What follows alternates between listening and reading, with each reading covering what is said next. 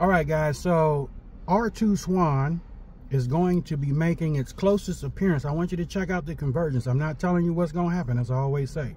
Because if you stay ready, you ain't got to get ready. But the things are just undeniable. Got to look at them, the way things are happening. Woo! Uh, this is wild.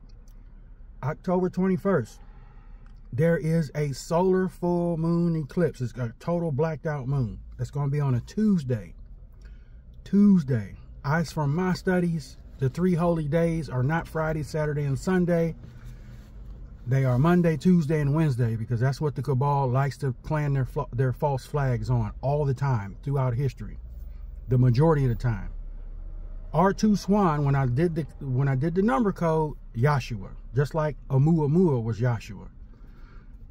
It's going to make its closest approach to Earth on October 21st and the 22nd. Why is that important? Because Tishri 1st was October the 6th.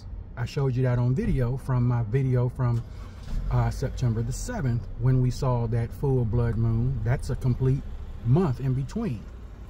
So Tishri 17, that's the day that Noah rested, okay? Yeah, they went up, but they also rested, okay? Which means our rest was when we go up with the lamb. Tishri true, I'm, I'm just saying, from what I've studied, true Tishri 17 is victory. It is October the 21st.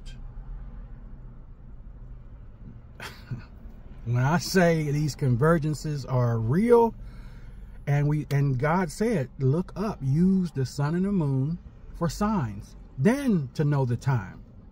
So why do why does the word keep telling us to look up? Because because your redemption draws near or nigh. So if we have all these convergences, and I said, I continue to say the window, the hour, September to October, this is what we're looking at. Okay. So October 21st to the 22nd, R2 Swan, the name that they gave it, has a Yahshua connotation to it.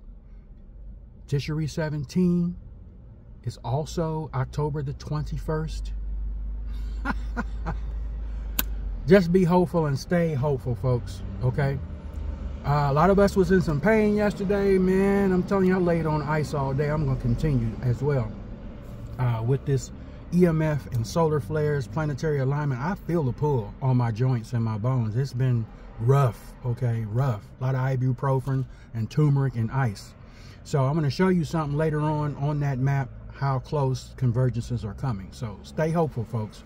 Stay hopeful. Help is on the way.